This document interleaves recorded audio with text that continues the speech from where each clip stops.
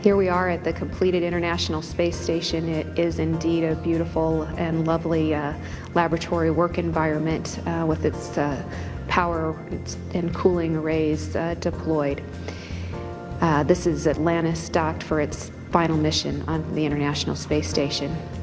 Mike Fossum will be egressing the airlock first, wearing the red stripes, and uh, Ron Garan will be EV2 for the EVA.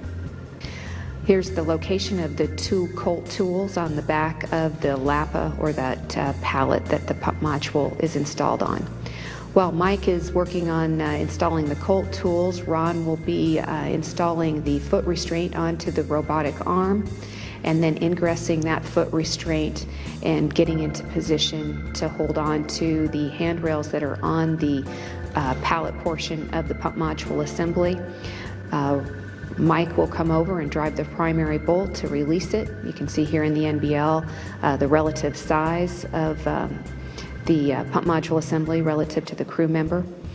Ron will move uh, on the arm out over the starboard just a little bit over the other ORUs that are on the ESP2 and then rotate it around to begin getting it into position where it can be docked down into the payload bay. Mike packs up his tool bag and heads down, uh, show, uh, to the payload bay, uh, following the path shown flashing here in blue.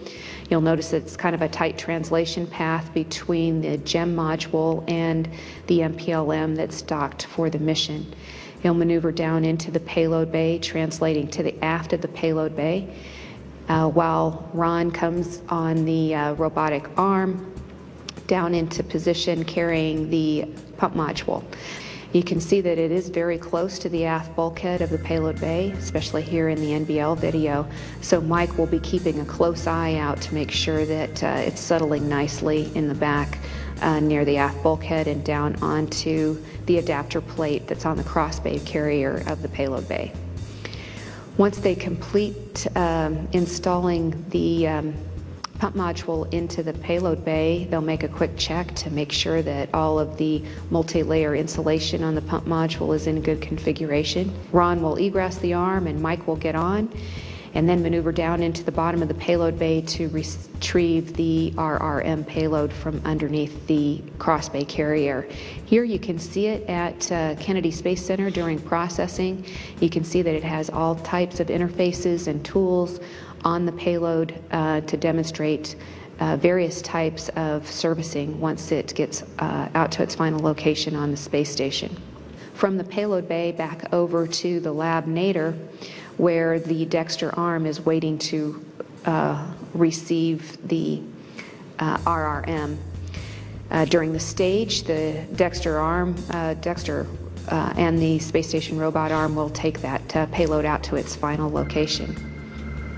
Mike will uh, fly on the uh, robot arm with Sandy and Doug driving the arm back over to the ESP2 where he can clean up the arm, putting the foot restraint back onto the ESP2, uh, removing the uh, uh, uh, worksite adapter for the foot restraint, and then cleaning up any other tools that they may have left on the ESP2 as well as reinstalling the gap spanner. While he's cleaning up the uh, SSRMS, Ron will be making his way back to the airlock, uh, trading out uh, one tool bag for another and picking up the uh, ORMATE tool bag. That uh, uh, tool bag also contains a camera that they'll be using to stow his crew lock bag and then get in position to install the ORMATE uh, experiment package and then uh, take photos of the material samples that are on the payload itself. Here's a photo showing you all of the small little materials exposure samples. Uh, all of those uh, experiments will be used on future satellite applications as well as in exploration. Uh, the connectors, the power and data connectors from the robot arm move down and, and mate with connectors behind this little door. With that wire in the way, we're concerned about uh, potentially um, uh, the door being stuck and, and um, causing difficulties for the robot arm. So we'll, we want to clear that out of the way. If we can show the video, I'll show you how we plan to do that.